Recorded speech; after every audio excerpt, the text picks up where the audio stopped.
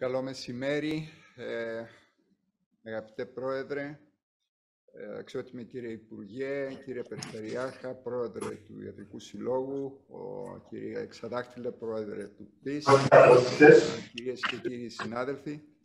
Ε, το Ιατρικό με μεγάλη χαρά σας καλωσορίζει στην ένατη κατά σειρά έναρξη μαθημάτων του προγράμματος συνεχιζόμενης ιατρικής επιμόρφωσης. Ε, τα προγράμματα αυτά τα ξεκίνησε ο ήμνησος ε, καθηγητής Ράπτης με πολύ μεγάλη επιτυχία και ε, η προσπάθεια του Ιατρικού Αθηνών και ειδικότερα του Επιστημονικού Συμβουλίου ήταν τα προγράμματα αυτά να τα συνεχίσουμε και να τα εμπλουτίσουμε κατά το δυνατόν.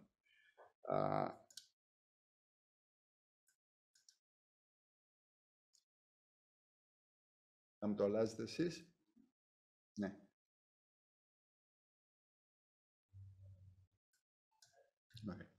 Ναι, τα μέλη του Επιστημονικού Συμβουλίου του Ιατρικού Αθηνών, στους οποίους εκφράζω τις θερμότατες ευχαριστίες μου για, τις, για την εξαίρετη συνεργασία που έχουμε όλα αυτά τα χρόνια.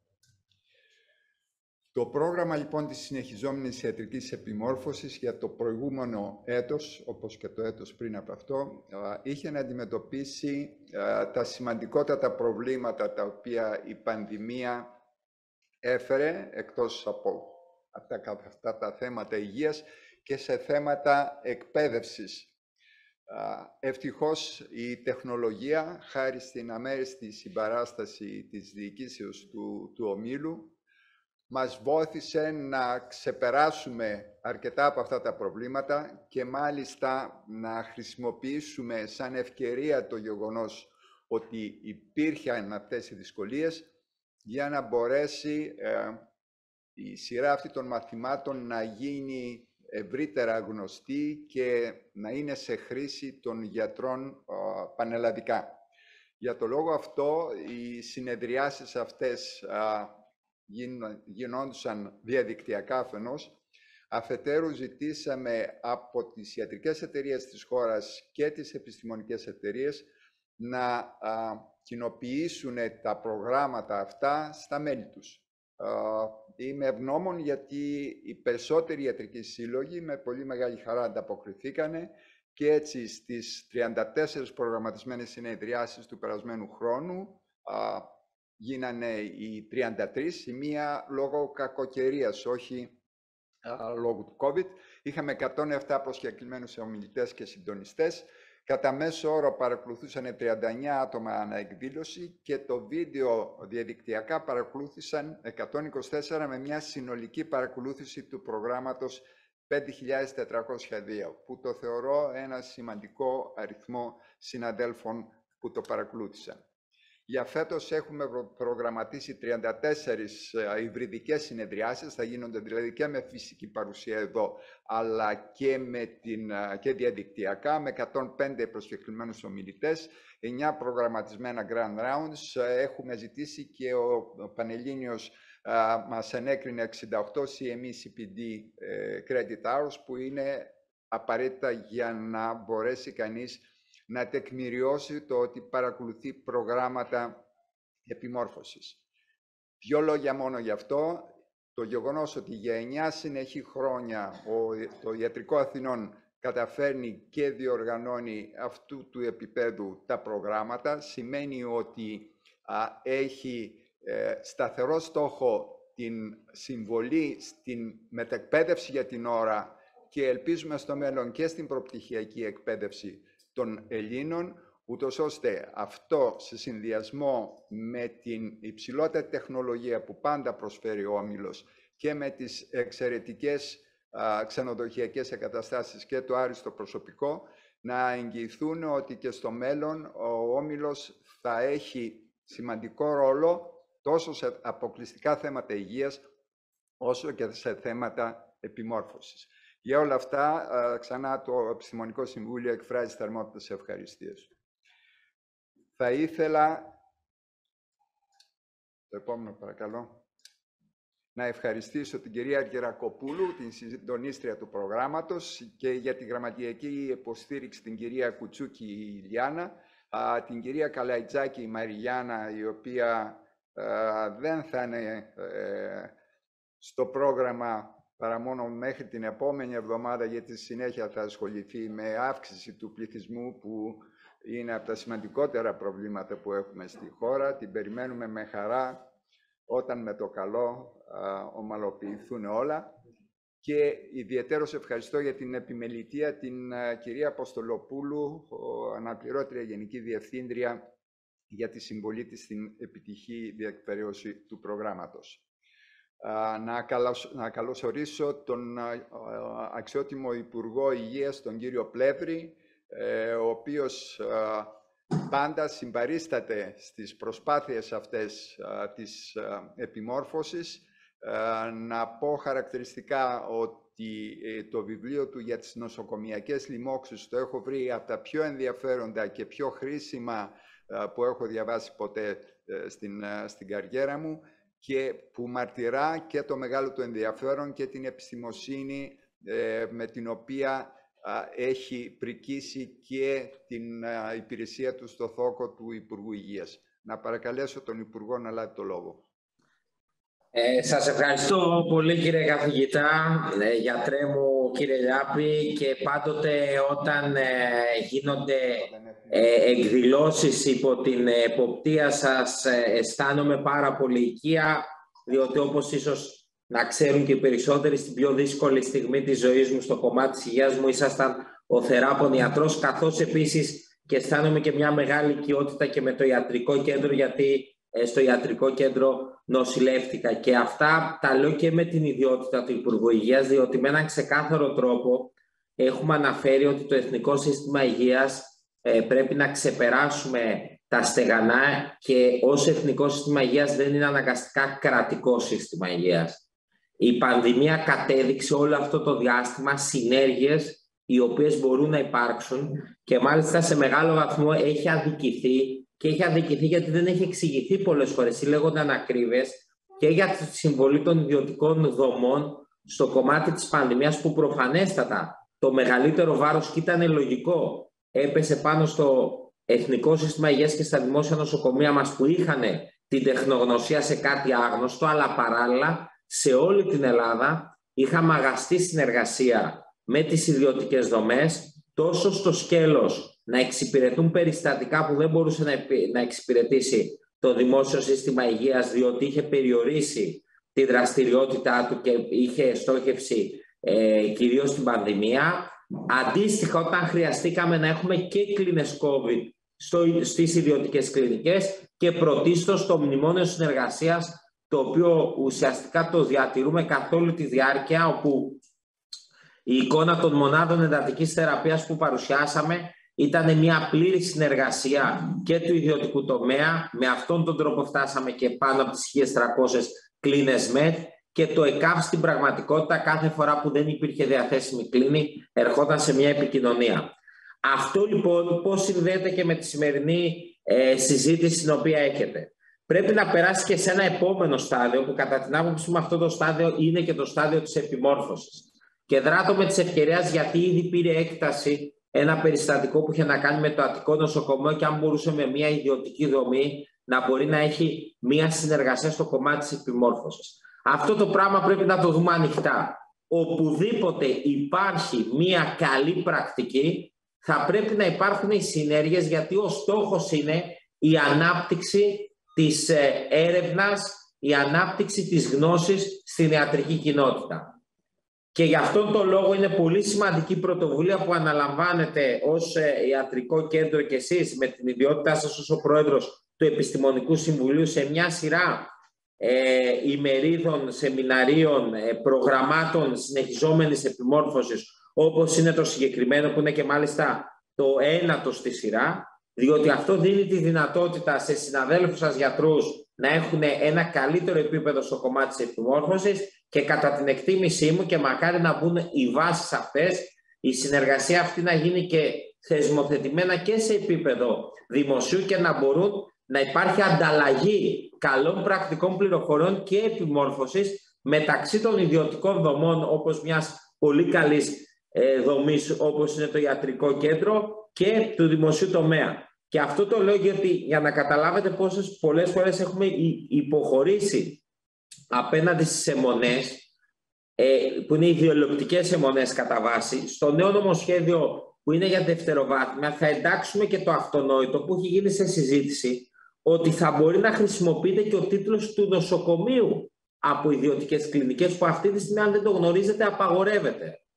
Προφανέστατα δεν μπορούν όλες οι ιδιωτικές κλινικές να χαρακτηρίζονται ως νοσοκομεία, αλλά οι ιδιωτικές κλινικές που πληρούν προϋποθέσεις που έχουν και τα νοσοκομεία μας και πολλές φορές στο έπακρο σημείο όπως είναι και το ιατρικό κέντρο δεν είναι δυνατόν να μην μπορούν να χρησιμοποιούν τον όρο. Με αυτές τις λίγες σκέψεις ε, γιατρέ μου, γιατί εγώ πάντα έτσι αισθάνομαι, έχεις εξαντλήσει την ιεραρχία στο πανεπιστήμιο, είσαι στις ψηλότερες θέσεις. Για μένα πάντοτε ε, είσαι ο γιατρός μου και έτσι σε βλέπω και μάλιστα έχω και καιρό, παρόλο που είμαι υπουργός Υγείας, να έρθω να κάνουμε τις επανεξετάσεις που πρέπει να κάνουμε, οπότε θα το φροντίσω και αυτό.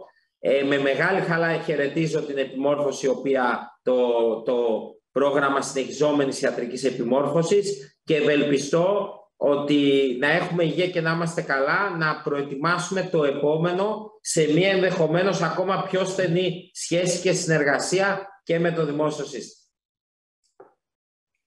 Θερμά ευχαριστούμε τον αξιότιμο Υπουργό Υγείας και για τα λόγια του και για τις σκέψεις του, οι οποίες είμαι βέβαιος ότι απηχούν την σκέψη ε, όλων των ανθρώπων οι οποίοι σκέπτονται ε, με τρόπο επικοδομητικό και με, έχοντας στο νου το συμφέρον α, της χώρας, την υγεία των ασθενών και την επιμόρφωση των Ελλήνων γιατρών. Θερμά ευχαριστούμε. Ε, να παρακαλέσω τη σύνδεση ε, με τον πρόεδρο του ΙΣΑ, τον κύριο Πατούλη. Κύριε, αξιότιμη κύριε Πρόεδρε, καλό μεσημέρι, ευχαριστούμε. Καλημέρα, καλησπέρα σας αξιότιμοι καθηγητές, αγαπητοί συνάδελφοι, κυρίες και κύριοι, ε, κύριοι πρόεδροι, Γιώργο και Βασίλη, ε, αλλά πάνω απ' όλα πρόεδρε της Επιστημονικής ε, Επιτροπής του ένατου έτους συνεχιζόμενης ιατρικής επιμόρφωσης, καθηγητέα και δάσκαλε, θα τολμήσω να πω, κύριε Γιάπη. Ε, θα πω κι εγώ ότι με μεγάλη τιμή χαιρετίζω αυτή την ένατη ενακτήρια εκδήλωση συνεχιζόμενης ιατρικής επιμόρφωσης και στο νου μου έρχονται τότε όταν επιθυτείας μου ως Δημάρχο Μαρουσίου του δωρεάν ελέγχου στην πρώτη επιμόρφωση τότε που είχε γίνει για ανεβρίσματα ε, στα καπή της πόλης. Έκτοτε η συνεχιζόμενη επιμόρφωση απευθύνεται και καλύπτει σήμερα και τους γιατρούς στα Μαρουσίου, όπως επιπλέον και ολόκληρο τον Ιατρικό Σύλλογο της Αθήνας. Γνωρίζουμε ότι το διάστημα που διανύουμε η υγεία νόσησε σοβαρά. Νόσησε και νοσεί πέραν από το επίπεδο της πανδημικής ε, προφανώς κρίσης που εξακολουθεί να κοστίζει σε θανάτους ε, στη χώρα, αριθμό που φτάσαμε και εδώ σε απώλεια πολέμου. Η ίδια η κρίση του COVID παραμέρισε τη θεραπεία, την αντιμετώπιση και την οσυλία. Όπως γνωρίζουμε, μεγάλο αριθμό ασθενών, πολλών χρόνιων πασχόντων, αλλά και ασθενών με ευνίδιες παθήσεις για παρατηλαμένο διάστημα. Στο δημόσιο σύστημα υγείας, όπως ξέρουμε, η πανδημία μοιραία έφερε καθυστερήσεις σε χειρουργία και εξετάσεις και μεγάλες αναμονές για εξωτερικά ιατρία και εισαγωγές ασθενών και γενικά νοσήματα εκτός κορονοϊού. Κάτι που επιβάρυνε το με φόρτο και εργασιακό στρες και τα ιδιωτικά νοσηλευτήρια, στα οποία οφείλουμε να πούμε, αγαπητέ κύριε Λιάπη, αγαπητέ Πρόεδρε, ότι συμβάλλαν σημαντικά. Μέσα σε όλο αυτό το κλίμα, δράτω για άλλη μια φορά της ευκαιρίας να συγχαρώ πέραν των δημόσιων γιατρών, τους ιδιώτες γιατρούς της χώρας, του Λεκανοπεδίου, καθώς και τα ιδιωτικά νοσηλευτήρια. Γιατί με αυταπάρνηση από τις αρχές του 2020 μέχρι σήμερα στήριξαν με τις ιατρικές τους υπηρεσίες μεγάλο μέρος του πληθυσμού χτίζοντας έτσι και υποκαθιστώντας με τιμότητα το τείχος της πρωτοβάθμιας φροντίδας όσο υπήρχε και όσο τώρα προσπαθεί η πολιτεία με συγκεκριμένε ενέργειες να υλοποιήσει. Βαδίζοντας πλέον στην τέταρτη σημερινή περίοδο συνεχιζόμενη πανδημίας, τα ιδιωτικά θεραπευτήρια καλούνται από την πολιτεία να νοσηλεύουν στις κλινικές τους και ασθενείς με κορονοϊό. Θέλω να πιστεύω ότι αυτό βρίσκει τις ιδιωτικές κλινικές ετοιμότητα για μη διασπορά και περιφρύση της υγείας του συνόλου. Χαίρομαι λοιπόν, κύριε ε, Πρόεδρε, που η φετινή διοργάνωση του ενάτου συνεχιζόμενης εταιρειακής επιμόρφωσης έτους καλύπτει ένα ευρύ φάσμα θεματολογίας και παθήσεων που απασχολούν πλέον με επίγοντα χαρακτήρα το γενικό πληθυσμό, με τη συμμετοχή βεβαίως ε, εξαιρετικών ειδικών επιστημόνων και καθηγητών της ιατρική.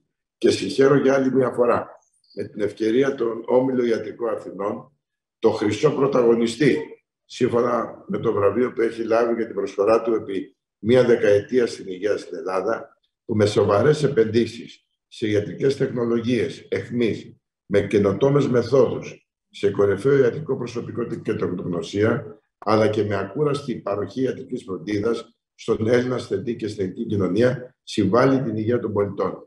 Κάτι που έμπρεχτα κατέδειξε ως όβιλο και στην εθνική προσπάθεια καταπολέμηση τη πανδημίας, δίνοντας το παράδειγμα της εταιρικής ευθύνης από τι πρώτε ώρε. Οφείλω να πω βεβαίως ότι αυτό εγώ το είχα δει και ως Δήμαρχος μέσα από το κοινωνικό έργο το οποίο έκανε ο Όμιλος όταν χρειάζονταν και όπου χρειαζόταν. Επίσης, να πω, αγαπητέ Πρόεδρε, στην ευχή την οποία έκανες για την μεταπτυχιακή προσπάθεια, εγώ πιστεύω ότι ε, πλέον η υγεία είναι μία. Θα πρέπει να ακολουθήσουμε αυτό που έχουν κάνει και άλλες χώρες.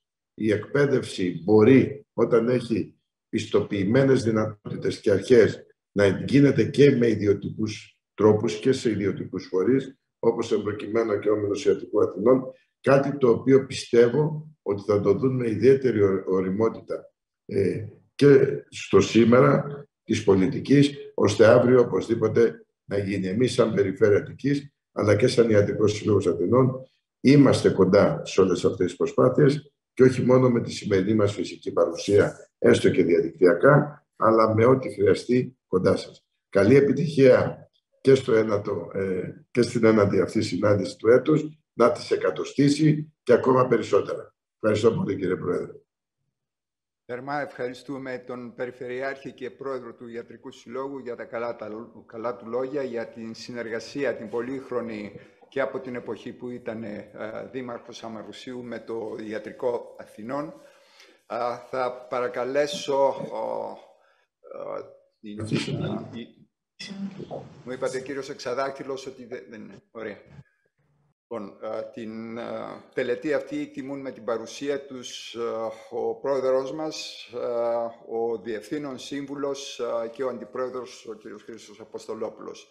Εκ μέρους της διοίκησης, ο Διευθύνων Σύμβουλος του Ομίλου, ο, ο Δ. Βασίλειος Αποστολόπουλος, θα απευθύνει τον χαιρετισμό και τον παρακαλώ.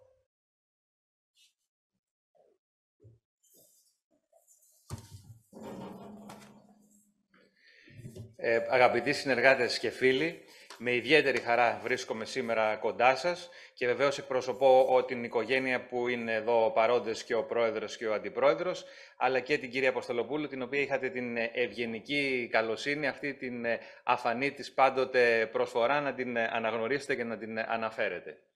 Είμαι λοιπόν ιδιαίτερα χαρούμενος γιατί, κύριε καθηγητά, με την δική σας την έλευση αυτό που και την εμπλοκή στο πρόγραμμα αυτό της, ε, της επιμόρφωσης ε, αναβαθμίστηκε ουσιαστικά και σημαντικά το, το πρόγραμμα αυτό, ε, γιατί άλλωστε είναι κάτι το οποίο συνάδει πλήρως και με την στρατηγική μας, που λέει ότι το ιατρικό δεν είναι μόνο ένας χώρος παροχής υψηλών υπηρεσιών επίπεδου υγείας, αλλά είναι και ένας χώρος μεταλαμπάδευσης της ε, σύγχρονης ιατρικής τεχνογνωσίας και γνώσης.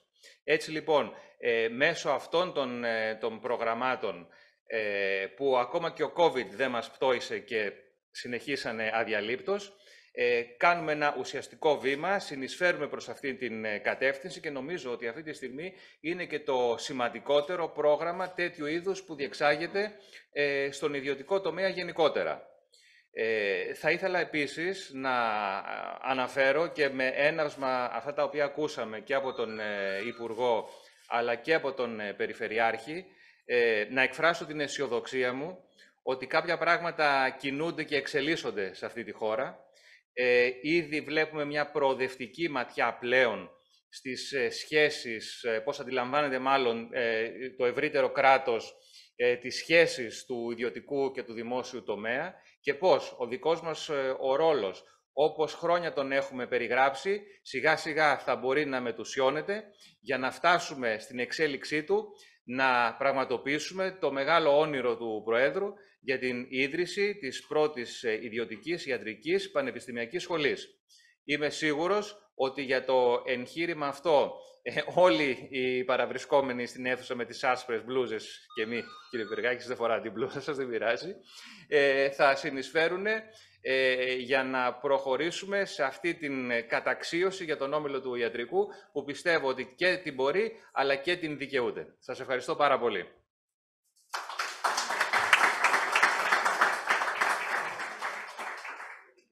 Θερμά ευχαριστούμε τον Διευθύνοντα Σύμβουλο του Ομίλου Ιατρικού Αθηνών, κύριο Βασίλειο Αποστολόπουλο, για την προσφώνησή του. Να παρακαλέσω αν έχουμε τον κύριο Ζέρδιλα σε σύνδεση. Ο κύριος Ζέρδιλας θα κάνει σύνδεση μέσω Zoom, διότι στις αθλητικές δραστηριότητες συμβαίνουν και απρόοπτα. Με μεγάλη χαρά λοιπόν τον υποδεχόμαστε διαδικτυακά. Ευχαριστώ πολύ κύριε καθηγητά. Κύριε Υπουργέ, κύριε Περιφερειάρχη, Πρόεδρε του Ιατρικού Συλλόγου Αθηνών, κύριε Πρόεδρε του Πανελλήνιου Ιατρικού Συλλόγου, κύριε Πρόεδρε, κύριε Διευθύνοντα, κύριε Αντιπρόεδρε του ομίλου μας, κύριε Πρόεδρε του Επιστημονικού, του Επιστημονικού Συμβουλίου, κύριε Επιστημονική Διευθυντή, αγαπητοί συνεργάτες, με μεγάλη χαρά θα ήθελα και εγώ από την πλευρά μου να σας καλωσορίσω και να σας ευχαριστήσω για τη συμμετοχή σας στο ετήσιο πρόγραμμα συνεχιζόμενης κατάρτισης που διοργανώνει το Ιατρικό Κέντρο Αθηνών και πλέον μετρά 9 χρόνια ζωής. Ο όμιλός μας, ο μόνος πλέον διαχρονικός όμιλος ελληνικών συμφερόντων, με μακροπρόθεσμο ορίζοντα, στρατηγική και όραμα, επενδύει διαρκώς στην επιστήμη και την τεχνολογία, με στόχο τη συνεχή βελτίωση των προσφερόμενων υπηρεσιών, με επίκεντρο πάντα τον ασθενή. Η διαρκής εκπαίδευση συμβάλλει ουσιαστικά στην αναβάθμιση των προσφερόμενων υπηρεσιών υγείας, ανοίγοντας τον δρόμο σε νέες τεχνικές και νέες μεθόδους, συμβάλλοντας περαιτέρω στη βελτίωση της ποιότητας των παρεχομένων υπηρεσιών υγείας. Αξίζει να αναφερθεί εδώ ότι από το 2014, που ήταν η πρώτη χρονιά του θεσμού, πριν από 9 χρόνια, οι συμμετοχές μέχρι σήμερα έχουν ξεπεράσει 4.500, με περισσότερους από 1.650 ομιλητές, έχουν διεξαχθεί περισσότερα από 770 μαθήματα, ενώ οι συμμετέχοντες έχουν λάβει περίπου 1.200 μόρια. Φέτος, όπως και πέρσι, το πρόγραμμα θα είναι υβριδικό και μέσω ψηφιακή πλατφόρμας, αλλά και διαζώσεις, καθώς φαίνεται ότι σταδιακά και εκτός απροόπτου επιστρέφουμε στην κανονικότητα. Είναι ξεκάθαρο όμως από τα αποτελέσματα της προηγούμενης χρονιάς ότι και η ψηφιακή μετάβαση του ετήσιου προγράμματος απέδωσε, καθώς είχαμε συνολικά 5.000 παρουσίες. Και αυτό νομίζω βάζει ακόμα ψηλότερα τον πύχη και θέτει τις βάσεις με ακόμη μεγαλύτερη συμμετοχή στο φετινό ετήσιο πρόγραμμα. Κλείνοντας, θα ήθελα να ευχαριστήσω τον πρόεδρο του Επιστημονικού Συμβουλίου του Ιατρικού Κέντρου Αθηνών, τον καθηγητή κ. Λιάπη, για την καθοριστική συμβολή του στη συνεχή βελτίωση και εξέλιξη του προγράμματος, καθώς και όλους τους ομιλητές που αποδέχτηκαν την πρόσκληση να συμμετάσχουν στο πρόγραμμα. Τέλος, θα ήθελα να ευχαριστήσω όλους εσάς που παρακολουθείτε τα σεμινάρια, καθώς μέσα από τη συμμετοχή σας ο θεσμός αποκτά ιδιαίτερη και μεγαλύτερη σημασία, βελτιώνεται και εξελίσσεται. Σας ευχαριστώ πολύ. Καλή επιτυχία. Θερμά ευχαριστούμε για την προσφώνησή σας. Να παρακαλέσω τον κύριο Χαμακιώτη, Γενικό Διευθυντή του Ιατρικού Αθηνών, για την προσφώνησή του.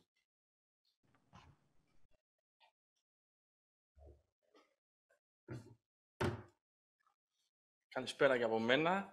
Σας ευχαριστώ πολύ κύριε Λιάπη, κύριε Πρόεδρε, κύριε Διευθύνοντα Σύμβουλο, κύριε Αντιπρόεδρε, αξιότιμοι συνεργάτες και διευθυντές. Ε, να σας καλωσορίσω και εγώ στην εναντί ιατρική επιμόρφωση ε, ένα εξαιρετικό πρόγραμμα ετήσιο που νομίζω θα συνεχιστεί για πάρα πολλά χρόνια και να ευχαριστήσω και τον κύριο Λιάπη για όλο το συντονισμό και την όλη την προσπάθεια του συγκεκριμένου προγράμματος. Ένα πρόγραμμα που βασίζεται στην κοινοτομία, ε, στις τεχνολογικές και επιστημονικές εξελίξεις. Ένα πρόγραμμα που βασίζεται επίσης στην πρωτοπορία και έχει και θέματα που πέρα από τις συνήθεις παθήσεις με όλες βέβαια τις τελευταίες εξελίξεις που υπάρχουν και που αφορούν τον πολύ κόσμο, έχει εξειδικευμένα θέματα που ε, αφορά θεραπείες που γίνονται για πρώτη φορά στο ιατρικό κέντρο ή γίνονται μόνο στο ιατρικό κέντρο. Επίσης, θα ήθελα να ευχαριστήσω όλους τους διευθυντές των τμήματων και όλους τους ομιλητές που είναι παρόντες εδώ, γιατί χωρίς αυτούς προφανώς δεν θα μπορούσε να έχει γίνει τίποτα. Επίσης, να ευχαριστήσω τις επιστημονικές επιτροπές του Ιατρικού Κέντρου Αθηνών, τον κύριο Κωνσταντινίδη, τον κύριο Πίταρο, με τον οποίο έχουμε καθημερινή συνεργασία, τον κύριο Πάγκαλη, τον κύριο Γαργαλιάνο, την κυρία Στούπη, γιατί χωρίς αυτούς δεν θα υπήρχε καμία ασφαλής ε, και ομαλή λειτουργία του νοσοκομείου για όλους μας και πάνω απ' όλα για τους ασθενείς μας. Επίσης, να ευχαριστήσω τον Πρόεδρο, τον Διευθύνοντα Σύμβουλο και τον Αντιπρόεδρο που στηρίζουν όλη αυτή την προσπάθεια της επιμόρφωσης, που στηρίζουν όλους τους γιατρούς, όλους τους συνεργάτες, αλλά κυρίως που, που, στηρίζουν όλο το δυναμικό μας, το νοσηλευτικό, το τεχνικό προσωπικό μας, το διοικητικό προσωπικό και είναι αυτοί που μας δίνουν την ασφάλεια αλλά και την προοπτική και στους δύσκολους καιρούς που ζήσαμε αλλά και σε αυτούς που έρχονται. Σας ευχαριστώ πολύ. Καλή επιτυχία κύριε Λιάπη και πάλι. Να είστε καλά. Θερμά, θερμά ευχαριστούμε για την προσφώνηση να παρακαλέσω τον κύριο Πίταρο, Διευθυντή Ιατρικής Υπηρεσίας, για την προσφώνησή του.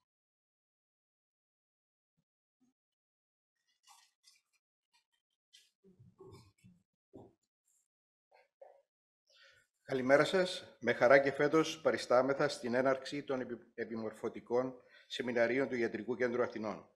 Πρώτα απ' όλα θέλω να ευχαριστήσω τον καθηγητή τον κύριο Λιάπη, Διευθύντη Αγκαιοχειρουργική Κλινικής, και την κυρία Γιούλια Αργυρακοπούλου, παθολόγο Διευθύντρια του Διαβητολογικού Τμήματος, για τη συνεισφορά τους στην κατάρτιση και τη λειτουργία του προγράμματος αυτού. Παραδοσιακά, κάθε χρόνο έχουμε την ευκαιρία να ε, γινόμαστε κοινωνοί όλων των τρέχουσων, τρέχουσων επιστημονικών εξελίξεων μέσω αυτών των σεμιναρίων και να ενημερωνόμαστε για όλες τις πρόοδους ε, στον τομέα της ιατρικής. Ε, ε, στο νοσοκομείο αυτό δεν υποστήλαμε ποτέ τη σημαία της γνώσης, ούτε θα την υποστήλουμε. Η γνώση και η αγάπη μας για τον άνθρωπο είναι αυτή που καθαγιάζει πραγματικά την παρουσία του γιατρού.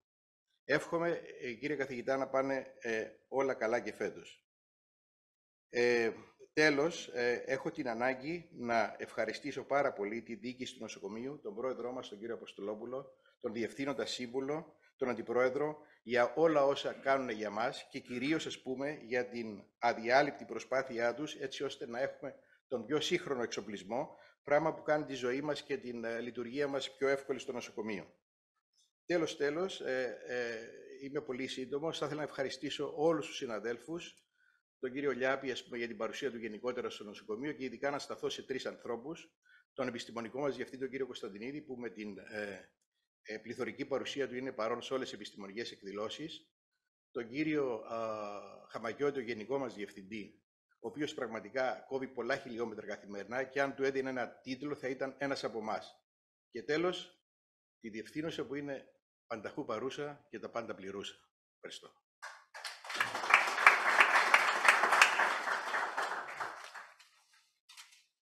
Ευχαριστούμε πολύ κύριε Πίτερε για την προσφώνηση και τα καλά σας λόγια. Να παρακαλέσω τώρα τον Δίνο τον Κωνσταντινίδη, τον επιστημονικό διευθυντή του ιατρικού για την προσφώνηση. Αν βάλουμε και καμιά μαντινάδα από την Κάρπαθο, ευπρόσδεκτη θα είναι. Ευχαριστώ πολύ. Καλημέρα, καλησπέρα σε όλους. Αναφέρομαι και στον κύριο Υπουργό που ίσως και να παρακολουθεί ακόμα. Κύριε Υπουργέ Υγείας, κύριε Πρόεδρε, κύριε Διευθύνοντα Σύμβουλε, Κύριε Αντιπρόεδρε, κυρία Αποστολοπούλου, σίγουρα κάπου μας ακούει, δεν τη βλέπω στην αίθουσα, αλλά παρακολουθεί. Κύριε Διευθυντά του Ομίλου, κύριε Διευθυντά του Ιατρικού Κέντρου Αθηνών, κύριε Περιφερειάρχα και Πρόεδρε του Ιατρικού Συλλόγου Αθηνών, κύριε Πρόεδρε του Πανελλήνιου Ιατρικού Συλλόγου, κύριε Πρόεδρε του Επιστημονικού Συμβουλίου, καθηγητά κύριε Λιάπη, αγαπητοί συνάδελφοι, νοσηλευτικό προσωπικό και διοικητικό προσωπικό.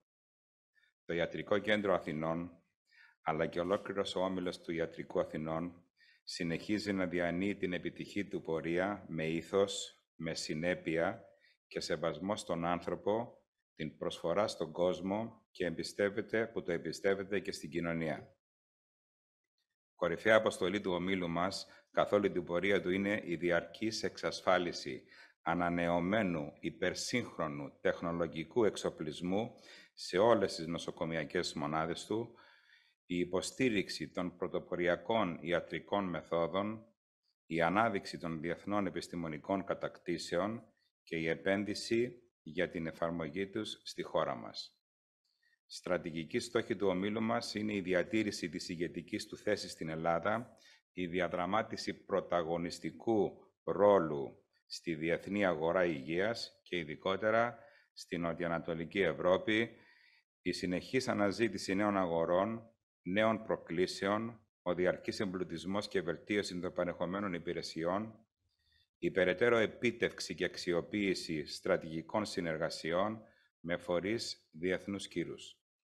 Η σύγχρονη πραγματικότητά μας μας αναγκάζει να δώσουμε περισσότερη ακόμα προσοχή στη συνεχή επανεκπαίδευση και ενημέρωσή μας μέσα από το καταπληκτικό πρόγραμμα ομιλιών που σήμερα ξεκίνησε.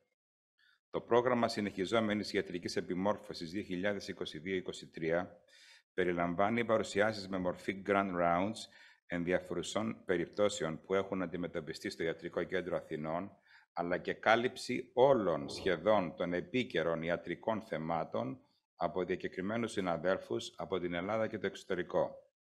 Ως επιστημονικός διευθυντής, θέλω να ευχαριστήσω τους ομιλητές, την διοίκηση και τη διεύθυνση επιχειρησιακής ανάπτυξης για την τεχνική κάλυψη για να προσκαλέσω όλους τους συναδέλφους να συμβάλλουν με τη συμμετοχή τους στην επιτυχία ενός ακόμη προγράμματος που διεξάγεται κάτω από πρωτόγρονες συνθήκες. Ιδιαίτερα ευχαριστούμε τον καθηγητή κύριο Χρήστο Λιάπη και την κυρία Γιούλια Αργυρακοπούλου για το καταπληκτικό αυτό πρόγραμμα και όλη της προσπάθεια. Προσωπικά θέλω να πω στο σημείο που αναφέρθηκα στην τεχνολογική υποστήριξη ότι χθες με όλη αυτή τη τεχνολογία που το ιατρικό μας παρέχει, μπορέσαμε να διεκπαιρέσουμε ακόμα μία ρομποτική επέμβαση κεφαλής παγκρέατος Whipple από τις πιο δύσκολες επεμβάσεις, κάτι που χωρίς την απίστευτη τεχνολογία που μας παρέχει ο Όμιλος, δεν θα είχαμε τη δυνατότητα να το διεκπαιρέσουμε. Η Αποστολοπούλιος Ιατρική Σχολή είναι ο στόχος μας. Καλή επιτυχία σε όλους και καλή υγεία σε όλους. Ευχαριστώ. Θερμά ευχαριστούμε ε, τον πρόεδρο της Επιστημονικής Επιτροπής, τον κύριο Κωνσταντινίδη. Ε, μείναμε χωρίς μαντινάδα, αλλά μείναμε με μια πολύ θερμή ευχή και είμαι βέβαιος ότι ε, αυτή θα την και ελπίζω ότι θα τη δούμε να υλοποιείται σύντομα. Με αυτά θα ήθελα να σας ευχαριστήσω όλους για την παρουσίαση, για τις προσφωνήσεις. Ε, να πω ότι εγώ θεωρώ ότι ακόμη είμαστε λειψοί στο πρόγραμμα. Μας λείπει το πρόγραμμα επιμόρφωσης της νοσηλευτικής υπηρεσίας και με μεγάλη χαρά χαιρετίζω την παρουσία της διευθύνουσας μαζί μας. Ελπίζουμε ότι ε, όταν ομαλοποιηθεί η κατάσταση θα ξαναρχίσουμε το πρόγραμμα, το οποίο ειλικρινά το θεωρώ ιδιαίτερα σημαντικό. Με αυτά να σας ευχαριστήσω και θα προχωρήσουμε. Ε, κύριο Σαχίν μου έχει δηλώσει ότι μας χαιρετάει εδώ, μας δίνει τις ευχές του. Ναι.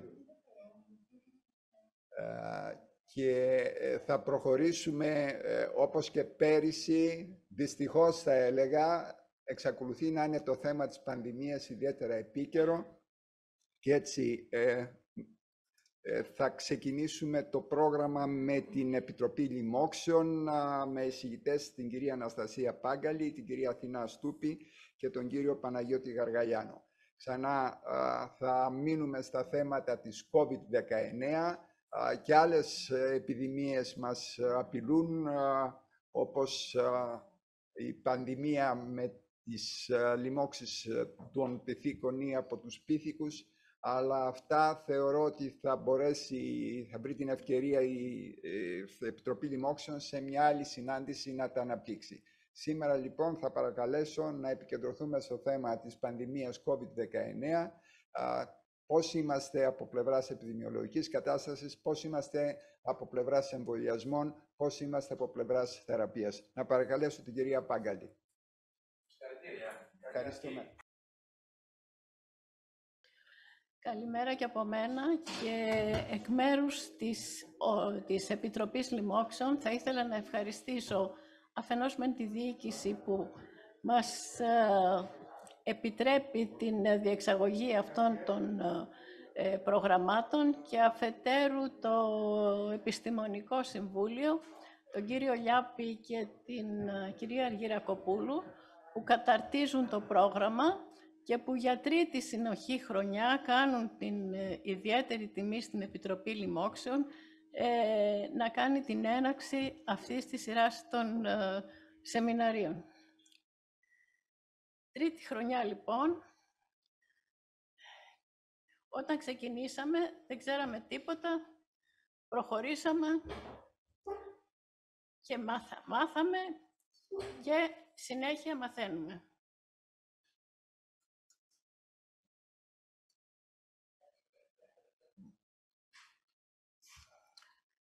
Ε, δήλωση σύγκρουσης συμφερόντων. Δεν υπάρχει σύγκρουση συμφερόντων. Ε, εγώ θα κάνω μία μικρή εισαγωγή για να δώσω την, ε, το χρόνο τον περισσότερο στους ε, συναδέλφους λοιμοξιολόγους ε, για να αναπτύξουν τα κλινικά θέματα. Να σας υπενθυμίσω ότι η πανδημία οφείλεται στον ιό SARS-CoV-2 αυτός ο ιός ανήκει, είναι πολύ όμορφος όταν το βλέπουμε στις εικόνες. Ε, ανήκει σε μια οικογένεια που λέγονται κοροναβίριντε, είναι σφαιρικός, έχει ένα μονόκλονο RNA που προγραμματίζει όλες τις λειτουργίες του και τις ε, απαραίτητες πρωτεΐνες του. Έχει 16 λειτουργικές για την αντιγραφή και μετάφραση και τέσσερις δομικές, οι οποίες είναι ε, αναφέρονται με μπλε γιατί μας ενδιαφέρουν τόσο από περπάς εμβολίων όσο και από διαγνωστικής ε, άποψης, διότι αυτές τις πρωτεΐνες τις χρησιμοποιούμε για να κάνουμε τη διάγνωση την εργαστηριακή ε, του ιού. Η δομή του ιού SARS είναι πολύ θεαματική. Εκείνο που μας ενδιαφέρει για όλες τις μεταλλάξεις οι οποίες κυκλοφορούν αυτή την εποχή και οι οποίες εμπλέκονται και στην ε, ε καλή ε, ε εκτέλεση, ε, καλή απόδοση των εμβολίων είναι η τριμερής πρωτεΐνη της σακίδας, αυτή που όλοι που ξέρετε και μάθαμε, η πρωτεΐνη spike. Βλέπετε τι εφάνταστη είναι, ε, αποτελείται από τρεις αλυσίδες πρωτεϊνικές. Λέμε ότι είναι ένα τριμερές μόριο και εκεί, σε αυτό επάνω το μόριο, γίνονται οι περισσότερες μεταλλάξεις που θα αναφερθούμε συνέχεια. Οι ιοί έχουν ορισμένες χαρακτηριστικές ιδιότητες. Μία από τις ιδιότητες τους είναι οι μεταλλαγές, τις οποίες τις κάνουν για να επιβιώσουν. Όπως τα μικρόβια αναπτύσσουν τους μηχανισμούς αντοχής για να ξεφύγουν από τα αντιβιωτικά, έτσι και οι ιοί ε, μεταλλάσσονται. Με τις μεταλλαγές τους οι ιοί αυξάνουν τη μεταδοτικότητα και τη λιμογόνο δράση τους, διαφεύγουν από το νοσιακό σύστημα και τα διαγνωστικά τεστ, ε, πολλές φορές αλλάζουν το σύστημα στόχο δράσης Δηλαδή, ε, επηρεάζουν είτε το ανώτερο αναπνευστικό, για να αναφερθούμε στον COVID, είτε το κατώτερο αναπνευστικό. Και θα δούμε ότι πολλές μεταλλάξεις ε, αφορούν το ένα σύστημα ή το άλλο. Επίσης μπορεί να αλλάξουν και, να αλλάξουν και τον έμπιο οργανισμό δράσης. Έτσι έγινε και με τον COVID, ο οποίος κατοικούσε και προσέβαλε ε, ε, κάποια ε, τους ε, παγκολίνους και τις ε, νυχτερίδες, αυτοί οι δυο ή συνεπλάκησαν και βγήκε ο COVID, ο οποίος μας ταλαιπωρεί. Έκανε δηλαδή από εκεί που βρισκόταν στα, στα πτηνά και στα ζώα, έκανε την επίθεσή του στον άνθρωπο. Επίσης, ορισμένες ε, μεταλλαγές συνηθίζουν και επικρατούν σε συγκεκριμένες περιοχές, εξού και λέμε ο ιός του Δυτικού Νείλου ή η εγκεφαλίτιδα των βραχοδών ωραίων ή αποκτούν μία οικειότητα με ορισμένες ε, περιοχές. Και επίσης με τις μεταλλαγές ε, αποκτούν και αντοχή σε αντιϊκά φάρμακα. Η RNA, ο COVID είναι ένας RNA, ε, έχουν ε, την ιδιότητα να μεταλλάσσονται πάρα πολύ και γρήγορα ε, και με πολλαπλές μεταλλάξεις. Εξού και για τη γρήπη κάνουμε εμβόλιο κάθε χρόνο και για τον κορονοϊό βλέπουμε και κάνοντας. Ε, θα έχετε ακούσει ορισμένες έννοιες για τον ιό SARS-CoV-2. Ε, ο Παγκόσμιος Οργανισμός Υγείας έχει θεσπίσει τους όρους VOI, Variant of Interest, είναι μια παραλλαγή του ιού με γενετικά χαρακτηριστικά που προϊονίζουν μεγαλύτερη μεταδοτικότητα, σοβαρή νόσο, καθώς και άλλο του νοσιακού συστήματος. Υπάρχει η Variant of Concern, η VOC. Είναι μια παραλλαγή που αυτή έχει αποδεδειγμένα πιθανότητες να προκαλέσει πολύ σοβαρές λοιμώξεις και επαναλοιμώξεις σε εμβολιασμένους και νοσήσαντες. Πιθανόν μπορεί να διαφύγουν από τα διαγνωστικά τεστ και ανθίστανται στα υλικά φάρμακα. Ε, εμείς στο εργαστήριο, όταν βγαίνει κάποια μετάλλαξη και κυκλοφορεί, πάντα ενδιαφερόμαστε να μάθουμε αν τα τεστ τα οποία κρατάμε στα χέρια μας μπορούν να διαγνώσουν αυτές τις νέες παραλλαγές. Υπάρχει και μια άλλη ορολογία της Παγκόσμιας Οργάνωσης Υγείας, είναι το Variant of High Consequence, αυτή, δόξα τω Θεώ, στον COVID δεν έχει εφαρμογή. Είναι ορισμένες παραλλαγές που δεν ανταποκρίνονται στα υπάρχοντα εμβόλια. Οι μεταλλάξεις του COVID έχουν ορισμένες ονομασίες και ο Παγκόσμιος Οργανισμός Υγείας χρησιμοποιεί το, τα γράμματα της ελληνικής αλφαβήτου α, β, γ, δ, ε και έχουμε φτάσει στην όμικρον. Ε, η α, ε, εκείνο που πρέπει να, να πω λιγάκι είναι ότι ο COVID εμφανίστηκε στο τέλος του 19, αρχές του 20. Μέχρι το Νοέμβριο του 20, Πηγαίναμε με τον πρωταρχικό COVID και λέγαμε με χαρά ότι ο COVID δεν μεταλλάσσεται, μέχρι που το, 20, το, το Νοέμβριο του 20 άρχισαν να εμφανίζονται οι διάφορες μεταλλάξεις. Οι μεταλλάξεις αυτές ε, εμφανίστηκαν στην ε, Αγγλία, στην ε, Νότιο Αφρική, Ιαπωνία και Βραζιλία. Στην Ινδία είχαμε τη μεγάλη έξαρση με τον Δέλτα ιό, ε, και τελευταία έχουμε την Όμικρον, η οποία εμφανίστηκε στην Αφρική και πέρασε και εξαπλώθηκε σε όλο τον κόσμο. Σε αυτό το σχήμα βλέπετε την πορεία εμφάνισης των διαφόρων ε, μεταλλάξεων. Το Σεπτέμβριο του 20 εμφανίστηκε η Α και η Β, Αγγλία. Συγχρόνως όμως ε, εμφανίστηκε και η Ε, με τα μπλε χρώμα είναι η VOI, δηλαδή ε, Virus of Interest. Με το κόκκινο είναι ο Virus of Concern. Ε, πολλοί από αυτούς τους ιούς οι οποίοι εμφανίστηκαν, όπως η μεταλλαγή ΚΑΠΑ τον Οκτώβριο του 20, η Λάμδα τον ε, Δεκέμβριο του 20, και μια έτα ε, συγχρόνως, καθώς και η μου το Γενάρη του 2021, αυτές τώρα δεν υφίστανται, έχουν εξαφανιστεί. Δηλαδή, οι μεταλλάξεις, εκτός από αυτές που είναι πάρα πολύ ισχυρές. Ε, υπάρχουν και μεταλλάξεις οι οποίες πάρα πολύ γρήγορα εξαφανίζονται. Η...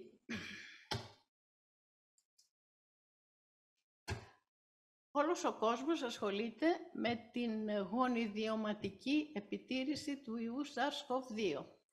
Αυτό σημαίνει ότι αναλύουν τον ιό με σύγχρονες ε, τεχνικές της Next Generation Sequence, όπως τη λέμε, και αυτό έχει σημασία για να δούμε τη διασπορά του ιού και κατά πόσον είμαστε έτοιμοι να τις αντιμετωπίσουμε με φάρμακα ή με εμβόλια.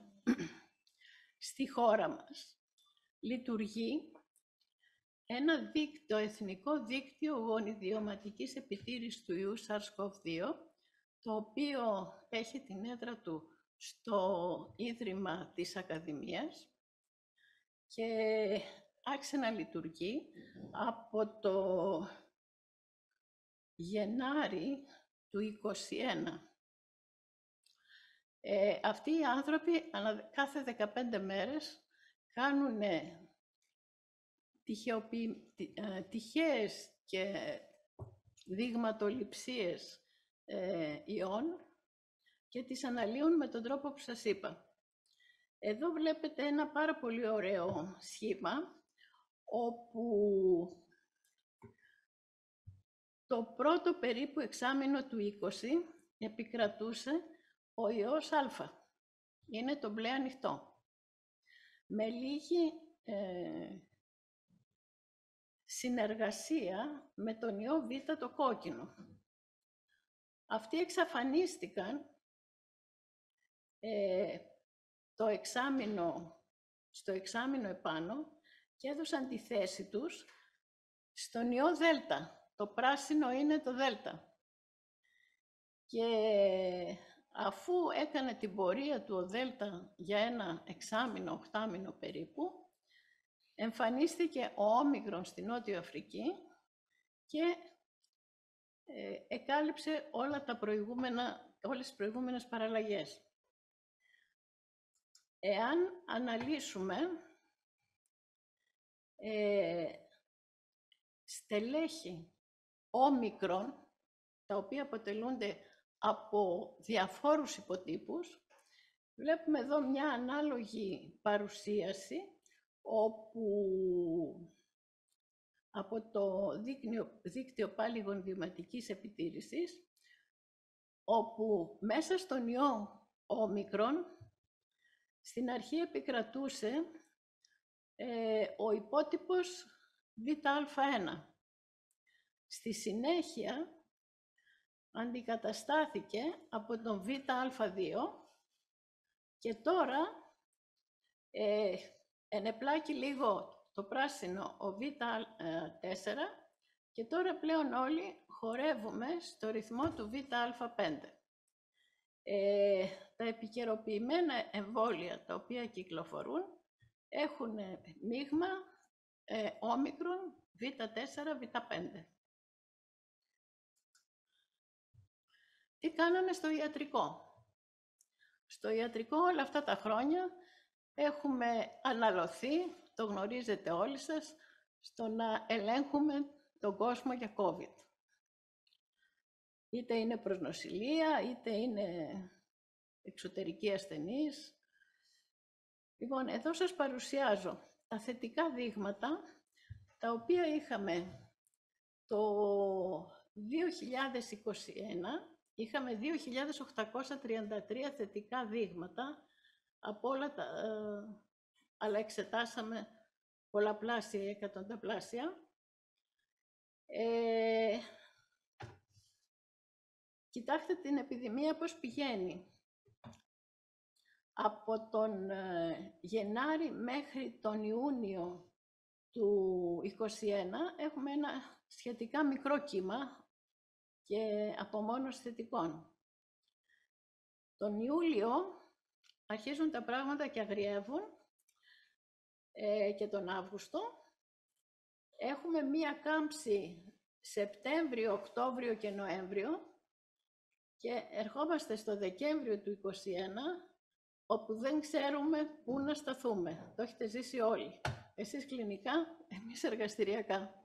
Αυτή η δουλειά συνεχίζει και στο Γενάρη του 2022 κάνει μία μικρή κάμψη το ε, Φεβρουάριο, ξανανεβαίνει το Μάρτιο, ξανακατεβαίνει, τέλος πάντων και φτάνουμε στον Ιούλιο ε, πάλι που έχουμε μία μεγάλη έξαρση των θετικών και δόξα τω Θεώ τώρα είμαστε σε μία κάμψη που ελπίζουμε να συνεχιστεί, διότι ο ιός όμικρον μπορεί να έχει μία ταχύτητα διασποράς μεταξύ των ανθρώπων, όμως δεν μας πιέζει στο υγειονομικό σύστημα και δεν ε, προκαλεί βαριά νόσο. Και τα εμβόλια μας περιμένουν. Ο κύριος Γαργαλιάνος θα μας πει για την επιδημιολογία και θα συνεχίσει η κυρία Στούπη με, την, με τα εμβόλια. Ευχαριστώ πολύ. Ευχαριστώ πολύ, κυρία Πάγκαλη. Ευχαριστώ τον Πρόεδρο και τα μέλη του Επιστημονικού Συμβουλίου για τη δημιουργική πρόσκληση να μιλήσω για τα επίκαιρα αυτά θέματα τα οποία αφορούν την πανδημία.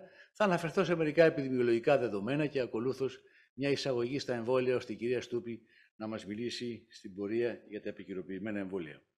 Ε, αυτή είναι η δήλωση σύγκρουσης συμφερόντων.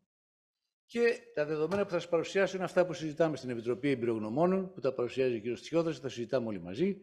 Βλέπετε πως η επιδημία ε, όντως βρίσκεται, όπως ανέφερε προηγουμένως και η κυρία Πάγκαλη, σε κάμψη.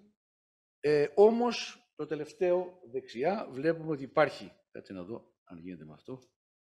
Υπάρχει μια, ένα spike το οποίο δείχνει ότι μπορεί να έχουμε ε, προβλήματα στο μέλλον. Το RT βέβαια, το οποίο είναι ο δείκτης που πρέπει να είναι κατά από ένα για να πούμε ότι δεν αυξάνεται πάρα πολύ, παραμένει στο 0,98.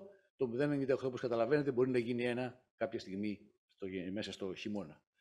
Και βέβαια αυτό καταγράφεται και σαν, σαν νέες περιπτώσεις, σαν 100.000 που έχουμε σαν δείκτη, που φαίνεται ότι εδώ υπάρχει μια πτώση, φυσικά δεν έχει καμία σχέση με το Γενάρη του 2022 που ανέφερε η κυρία Πάγκαλη, αλλά οπωσδήποτε ε, αρχίσει πια να κάνει ε, πάλι και εδώ το ίδιο spike.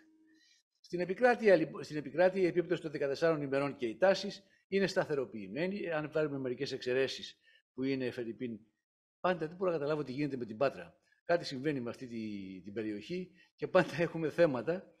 Ε, και το ECDC συνηθίζει να κάνει προβλέψεις για το πού θα πάει η επιδημία τις επόμενες τέσσερις εβδομάδες. Κάτι σαν μετεωρολογία λοιπόν περίπου, όπου βλέπετε ότι μπορεί να έχουμε μια αύξηση στην Ευρώπη.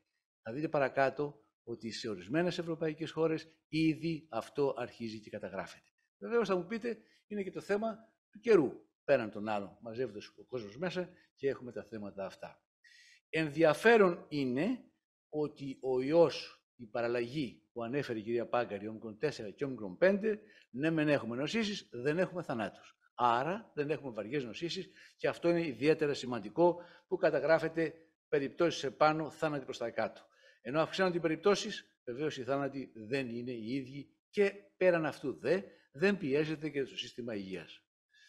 Ενδιαφέρον επίσης είναι ότι βλέπετε τις επαναμολύσεις. Οι infections λοιπόν συμβαίνουν ε, σε ένα 26% από αυτούς που καταγράφουμε και ξέρουμε πολύ καλά, ένας ο οποίος μολύνθηκε τώρα μπορεί σε δύο μήνες να ξαναμολυνθεί. Είναι κάτι το οποίο είναι, δείχνει και τη δυναμική του ιού και δείχνει αυτά που ανέφερε η κυρία Πάγκαλη που αφορά τη δομή του ιού, τη δυναμική του ιού και βεβαίως τις παραλλαγές του ιού. Όσον αφορά τη ηλικιακή κατανομή, βλέπετε ότι οι μέσες ηλικίες 35 με 44 και 45 με 54 οδηγούν την τωρινή πανδημία. Το τι θα γίνει στο άμεσο μέλλον δεν το ξέρουμε, μην ξεχνάτε, τα σχολιά ανοίξανε. Και ανοίξανε χωρίς μάσκες, γιατί έτσι έπρεπε να γίνει. Το χειμώνα λοιπόν θα αρχίσουμε να καταγράφουμε περισσότερα περιστατικά Δεδομένα που έχω από σχολεία αρκετά προσωπικά δεδομένα, στα 50 περιστατικά που έχουν συμπτώματα εκ του αναπνευστικού, μόνο τα δύο ήταν COVID, τα υπόλοιπα ήταν κοινές ιώσεις προς το παρόν. Και βέβαια μας ενδιαφέρει τι θα γίνει και το δημόσιο σύστημα που επηρεάζει και εμάς ως ιδιωτικό σύστημα με τις εισαγωγές Βλέπουμε ότι οι εισαγωγές στο γυλιόμενο μέσο 7 ημερών είναι 122. Αντέχει πολύ καλά το σύστημα, δεν καταλαμβάνονται κλίνες. Και έτσι λοιπόν ε, μπορούμε για να διαχειριζόμαστε. Μειώνονται οι COVID κλινικές στα δημόσια νοσοκομεία, γίνονται λίγες, διότι η απόφαση η οποία λήφθηκε, η οποία θα εφαρμοστεί το επόμενο χρονικό διάστημα και θα αφορά και το δημόσιο και το ιδιωτικό, ο άνθρωπος ο οποίος έχει, είναι απλά θετικός για COVID, με μια ενημοριακή μέθοδο, αλλά αντιμετωπίζεται για άλλο θέμα και δεν νοσεί από COVID, θα μπορεί να νοσηλευτεί σε ένα νοσοκομείο αρκεί να ξέρεις να πάρεις τις προφυλάξεις σου. Η ηλικιακή, στις ενεργείς νοσηλίες ηλικιακή κατανομή βλέπουμε ότι πάνω από 65 ετών το 80% των νοσηλιών ε, και καταλαβαίνετε πως αυτό δείχνει ότι η ηλικία μεγάλη δεν έχει θέμα, διότι μπορεί να είναι 90 ετών ο άλλος και να είναι καλά υγιής, να μην έχει συνοσυρότητες. Πάνω απ' όλα λοιπόν είναι και οι συνοσυρότητες.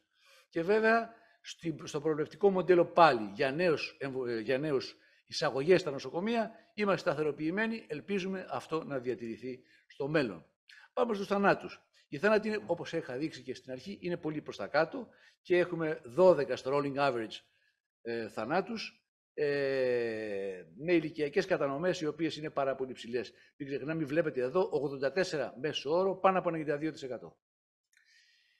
Αυτό το, αυτή η διαφάνεια έχει ιδιαίτερη σημασία. Υπάρχουν δεδομένα που να τα βρείτε όλοι στο Our World in Data, το οποίο δείχνει πώς πάει η επιδημία ανά, ανά περιοχή, ανά, ανά ήπειρο, ανά χώρα.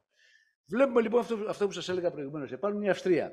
Στην Αυστρία ήδη έχει αρχίσει μια μεγάλη άνοδος.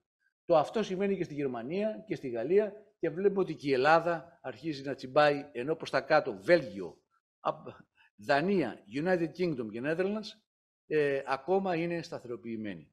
Αν λοιπόν αυτό πάει όπως δείχνει η επιδημία, πιθανώς στο επόμενο χρονικό διάστημα να έχουμε θέματα και να μην είναι αυτό που είπε ο Biden ανεπιτυχώς, the pandemic is over. Δεν υπάρχει over, απάντησε το CDC, απάντησαν όλοι οι επιστημονικοί οργανισμοί, δεν είναι έτσι τα πράγματα, γι' αυτό πρέπει να προφυλασσόμαστε.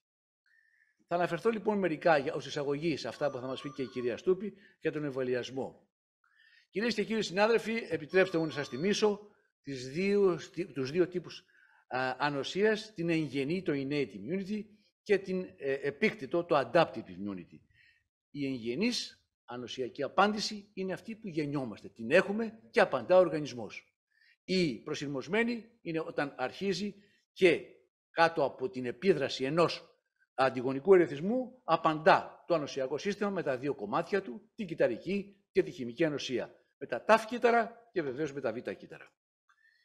Όταν λοιπόν αυτή τη στιγμή κάνουμε ένα εμβόλιο, διεγείρουμε πρώτα την χημική ανοσία με την, με την αντισώματα από τα β κύτταρα και βεβαίως και παράλληλα την τάφ κυταρική ανοσία, η οποία θα φτιάξει και τα μνημονικά κύτταρα που θα τα έχουμε για το μέλλον. Και αυτή είναι ακριβώς η επιτυχία των εμβολίων. Και αυτή είναι η ιστορία που λόγω των εμβολίων σώθηκαν ζωές παγκοσμίως που είναι πάρα πολλά εκατομμύρια. Και τι θα γινόταν αν δεν είχαμε τα εμβόλια. Αρχικά είχαμε αυτή την ιστορία των υποψηφίων εμβολίων, DNA εμβόλια, RNA εμβόλια, πρωτεϊνικά εμβόλια. Από αυτά, όπως ξέρετε, παρέμειναν εν λειτουργία, εν χρήση, τα mRNA εμβόλια και βεβαίως αυτά τα οποία είναι spike protein, τα πρωτεϊνικά εμβόλια, δηλαδή τα εμβόλια της Pfizer και της Moderna και της Novavax. Παραμένει ακόμα και της Johnson ε, αδρανοποιημένο ε, με βέκτορα εμβόλιο, αλλά σε λιγότερη αναλογία. Τι γίνεται λοιπόν, όταν έχουμε ένα εμβόλιο το οποίο είναι υποτμήματα του ιού, διεγείρουμε πάλι την ανοσία πώς; Ε, αναγνωρίζουμε τα, ταφ, τα τάφο κύτταρα και βεβαίως μετά μέσω των ανοσοπαρουσιαστικών κυτάρων γίνεται η, η αντισωματική απάντηση και βεβαίως τα μνημονικά κύτταρα της κυταρικής ανοσίας. Στα mRNA αντιθέτως εισάγουμε το messenger RNA, του δίνουμε λοιπόν την πληροφορία στο ανθρώπινο σώμα, εφόσον το mRNA σε πολύ σύντομο χρονικό διάστημα γίνεται πρωτεϊνικό αντιγόνο και μετά αποδομείται πλήρως. Είναι ακριβώς και η απάντηση, να το λέμε για πολλωστή φορά, ότι δεν υπάρχει φόβος του γενετικού υλικού του ανθρώπου από το mRNA, το οποίο στην αρχή οι αρνητές και διάφοροι άλλοι μη επιστήμονες ή οι επιστήμονες με fake news προσπαθούσαν να πείσουν τον κόσμο. Έτσι λοιπόν όταν αυτό έχει δοθεί αυτή η πληροφορία, τότε όταν μπει ο ιός, του αντιγόνου του ιού, αναγνωρίζεται και βεβαίως παράγει ε, αντισώματα και παράγει και την κυταρική ενωσία. Με, έτσι λοιπόν υπάρχει προφύλαξη, κυρίως για τη μη βαριά νόσηση, κυρίως για το μη θάνατο που μας απασχολεί. Προς το παρόν βέβαια δεν έχουμε μεγάλη επιτυχία στην πρόληψη αυτή καθ' αυτή να μην κολλήσεις, να το πω απλά. Ένα ενδιαφέρον, δεν το έχω βάλει μέσα, το συζητούσα και με την κυρία Πάγκαλη και την κυρία Στούπη, ενδιαφέρον paper το οποίο βγήκε πριν από μια εβδομάδα, δείχνει ακριβώς το ρόλο της IgA ε, προστασίας που υπάρχει στο βλενογόνο της μύτης και αυτό μας βάζει σε σκέψεις και γίνονται προσπάθειες σε αυτό, της παραγωγής εμβολίων τα οποία θα είναι ενδορυνικά, ώστε να μπορέσουμε ίσως να βελτιώσουμε και την προφύλαξη να μην κολλήσεις πέραν των άλλων. Είναι βέβαια δύσκολα εμβόλια αυτά. Έχουμε εμπειρία από την Αμερική που κάνανε και τα εμβόλια αυτά και την γρήπη, αλλά ήταν βεβαίως αδρανοποιημένοι ή που είχε μερικά προβλήματα τα οποία αφορούσαν συγκεκριμένους πληθυσμούς. Ενώ στο βέκτορα βάζουμε ένα βέκτορα, ένα, ένα ιό, ο οποίος δεν είναι μολυσματικός για τον άνθρωπο και από εκεί και πέρα παράγεται μέσω του, του βέκτορα αυτού πάλι αντισωματική απάντηση, πάλι με την ίδια σειρά, με τα β και τα ταφ κύτταρα. Άφησα τελευταία, ένα που δεν γίνει εμβόλια, γιατί πάντα υπάρχει, κυρίες και κύριοι συνάδελφοι, το θέμα. Ωραία.